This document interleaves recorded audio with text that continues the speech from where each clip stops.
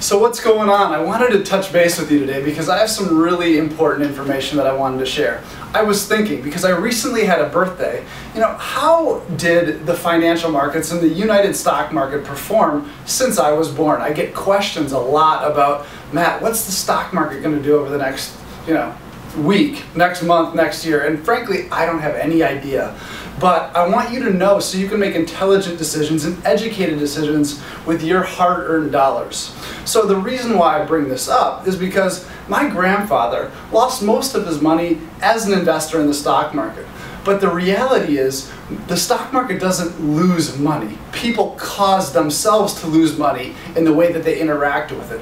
And it's hard to be an investor without the right information and without the right education. So I'm not biased towards the stock market in this conversation. I'm just biased towards getting you the proper information. So I was born in 1980, and I was thinking, well, that was when I was gifted my first share of stock. Now that's not the stock market as a whole, but I wanted to talk to you what we would have to experience as an investor to recognize the returns of the market. See, I was born in 1980. What happened after that? There was the Iran-Contra affair. And after that, there was the junk bond craze of the 1980s with Michael Milken and all of his cohorts. Then we had Black Monday, which was the biggest stock market crash in history on one day. Then we went to war in Iraq in 1990, followed by a savings and loan crisis in 1991. And then we had a little bit of a tech wave with Microsoft and the AOLs of the world in the mid to late 1990s.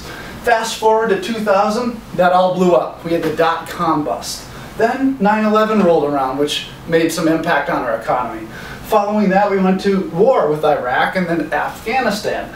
And then the housing market went through a bit of a boom from 2003 to 2006, followed by a Great Recession, a flash crash, Greece's situation, Brexit in 2016, and now Trump. So if I told you that the stock market was a really good place to be after hearing all that, you probably think I was crazy.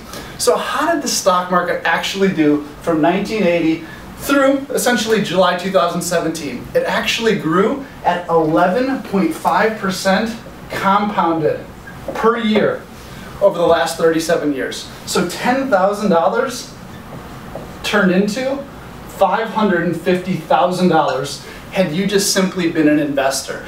Now, we don't know what tomorrow is going to bring, but even if the market generates some of those returns, it's likely going to be fruitful. So you need to have the right education, the right in information to build the proper investment plan and have the proper patience so you can reap the rewards and you can be a solid, smart, and wise investor. If you have any questions or need any help around your financial markets and investment plan, let us know. I look forward to hearing back from you soon. Bye.